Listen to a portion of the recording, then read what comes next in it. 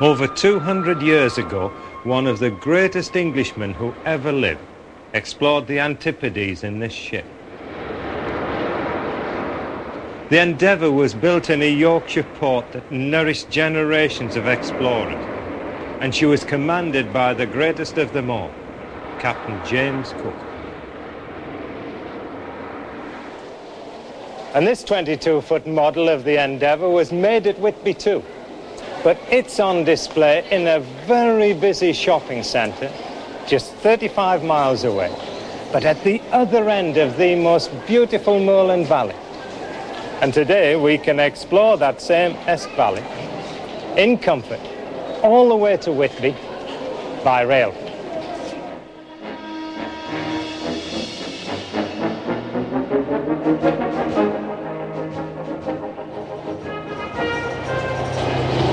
There are three Esks in Britain, but this one surely has to be the prettiest of them all.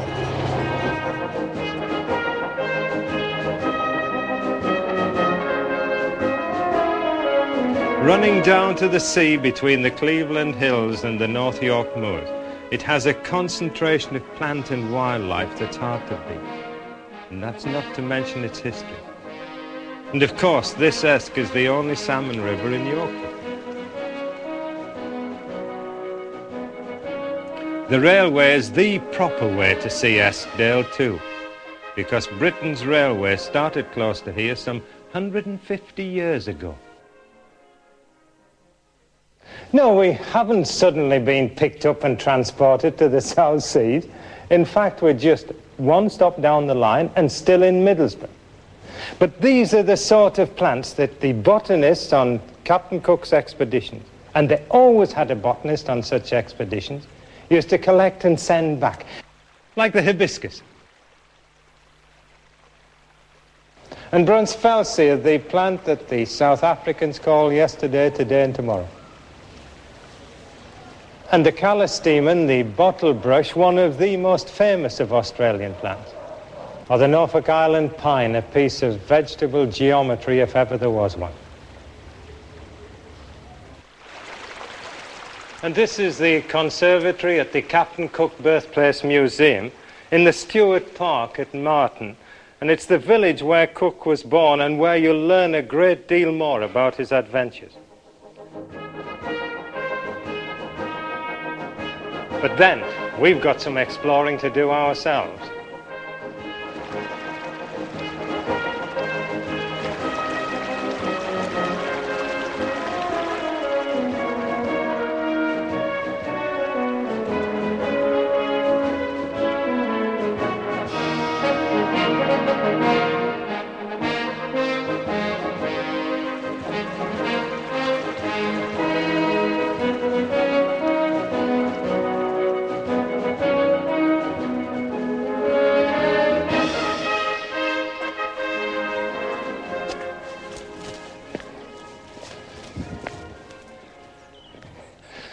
Roseberry Topping this, and it's the nearest thing you're going to get to mountaineering on this trip.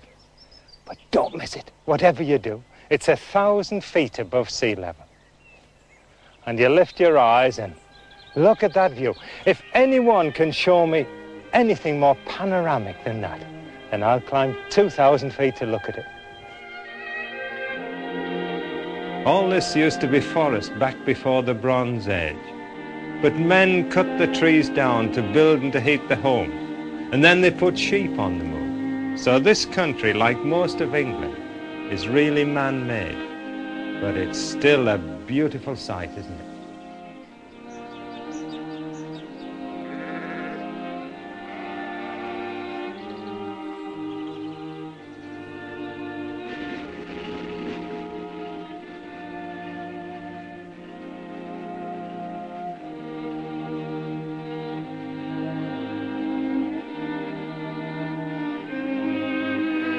You might even see castles up here if you're lucky. And it really is hard to leave, but let's get back on the train.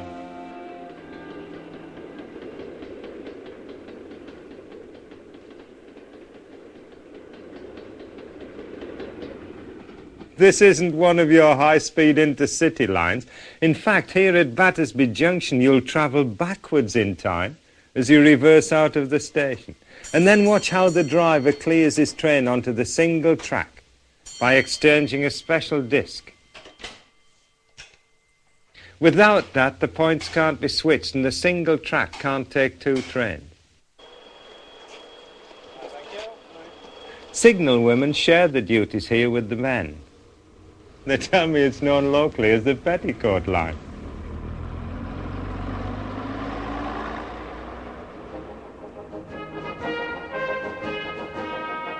It's also the youngsters' line because hundreds of children take the train to school every day and then come safe home again.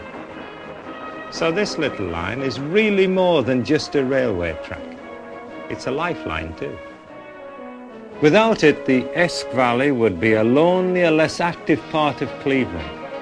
Or Cleveland, by the way, that means hilly district or cliff country.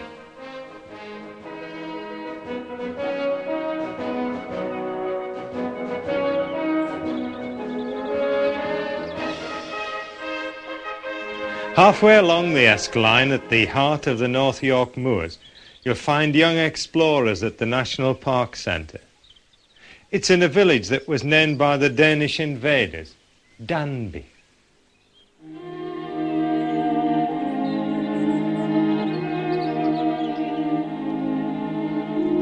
You can see how the moors took shape here and how the dedicated people, the landowners, the farmers and the team here at Danby Lodge worked so hard to keep all 550 square miles of the North York Moors National Park vibrant and still alive because people are making the living from the land still.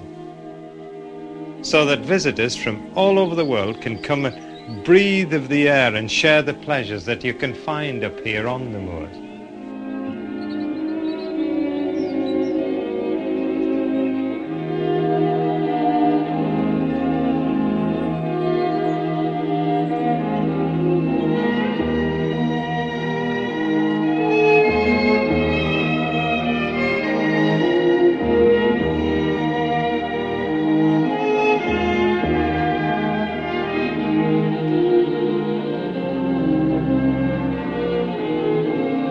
If you walked up from Danby to Lealholm, that means the village amongst the twigs, you'll be ready for a break and a snack on the village green or even a paddle in the Esk by these ancient stepping stones. Well, that's got to be refreshing to the mind and the feet.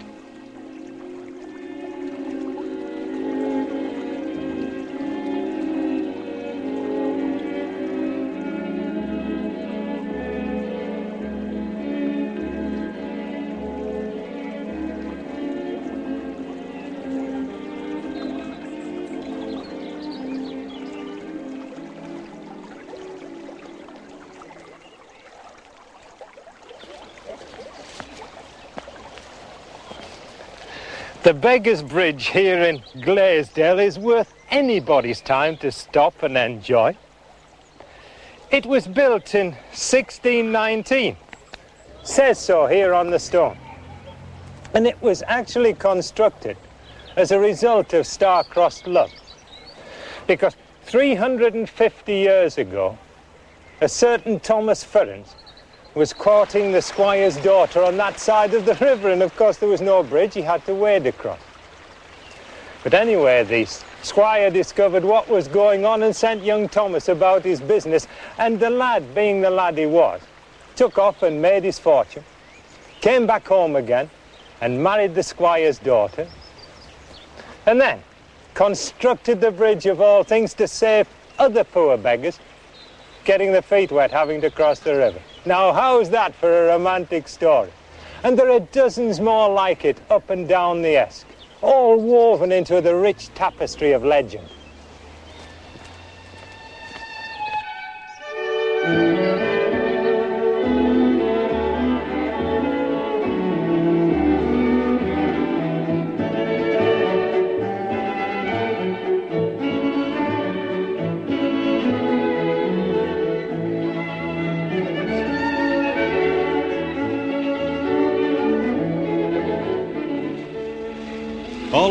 Along the Esk Valley these days, you'll see the bright blue of new Pacer train.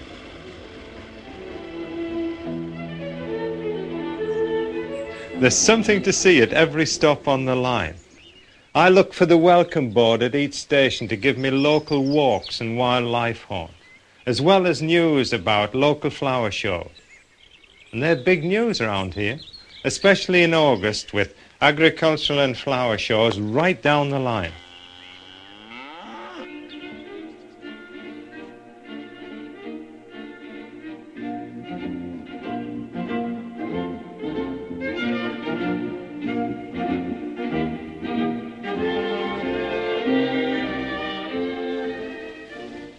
No, they're not exhibits at some local flower show. They're just part of the floral display that makes the Esk Valley a wild garden from spring right through into autumn. It's just as if some giant had grabbed handfuls of seed and scattered them into all the wayside nooks and corners. And in that way, it's better than a garden because the setting is so magnificent.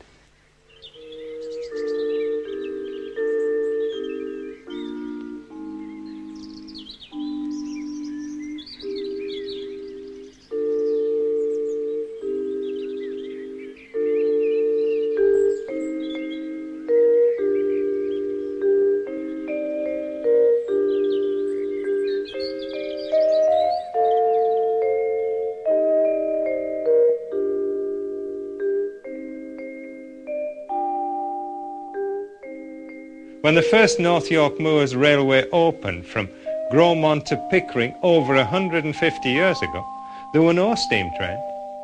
It was horses that pulled the carriages along the rails for 11 years until the first steam loco appeared.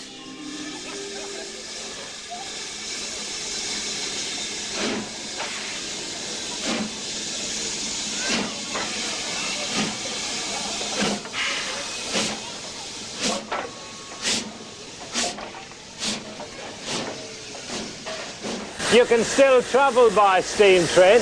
Just step off the Eskdale diesel and you step into the pass. And that's for an 18-mile journey by steam over the moors to Goathland and Pickering. And that has to be an experience, believe me.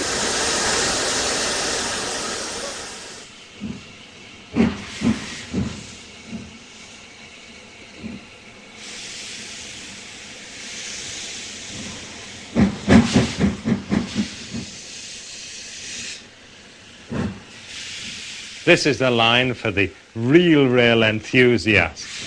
From the footplate to the loco shed and souvenir shops. It's all there.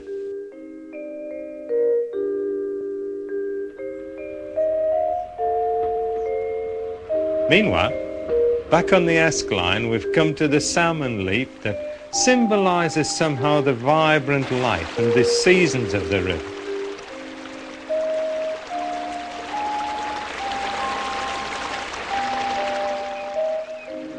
And this is Sleights, one of the prettiest villages in the north of England, and all built on a near vertical hillside above the bubbling Esk.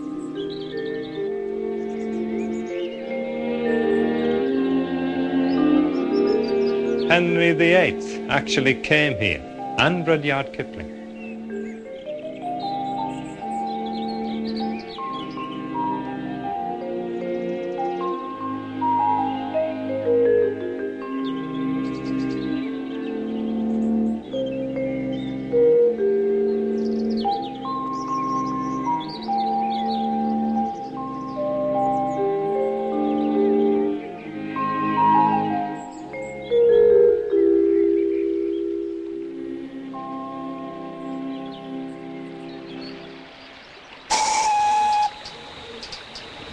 When Kipling asked, Oh, where are you going to?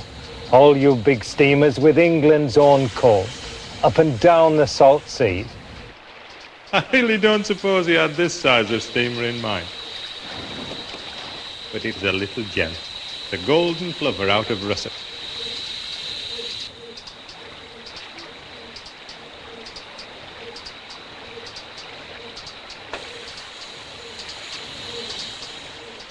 And look how the twisting, tumbling Esk has spread itself into this broad expanse as it nears the sea.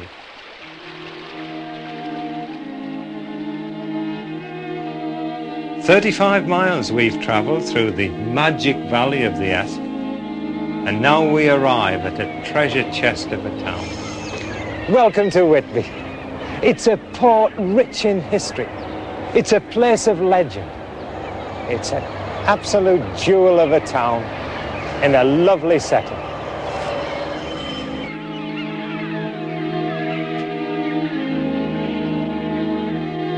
Here Cook's ships were built, the handmade timber vessels that took him twice round the world. And a full-sized replica of the Endeavour is about to be built here again. What a magnet for adventure lovers from all over the world.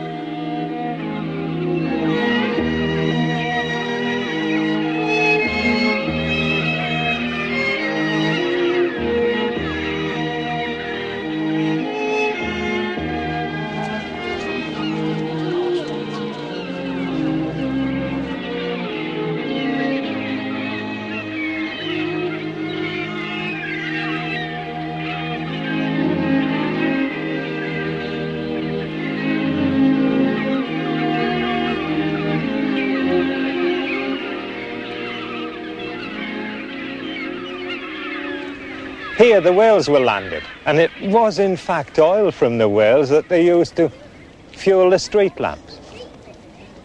And this, well, that's the jawbone of a whale, and it was erected on this site something like 150 years ago. Even the inside of St. Mary's Church on the cliff top by the Abbey is designed like a ship with a three-story pulpit.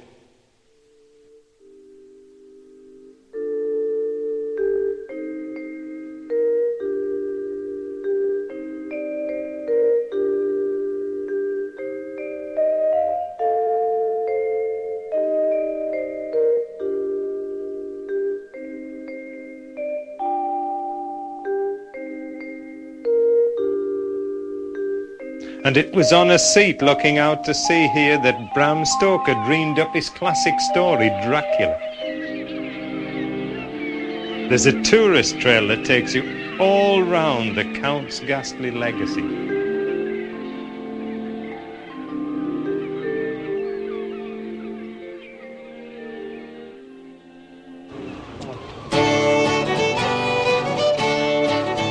Find bands playing in the narrow streets and on the pier.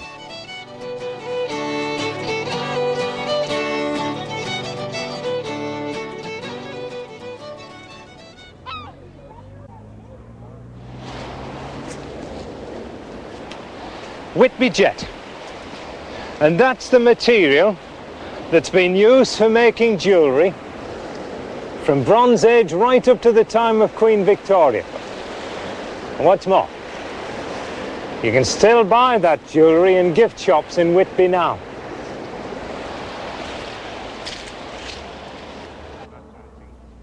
But do you know what this ebony-like substance is? It's wood washed out of the sea and fossilized by salt water and pressure. In the Middle Ages, they considered it a charm against witchcraft. True? Well, I don't know. But stories have grown up for centuries and they make life the richer for it. In fact, it was here on Whitby Beach that Lewis Carroll wrote The Walrus and the Carpenter. And now it's time, regretfully, for me to walk a little faster too. I hope you enjoy Esk exploring for yourself one day soon and get as much pleasure from it as I've enjoyed from discovering Eskdale by rail, one of Britain's great local lines.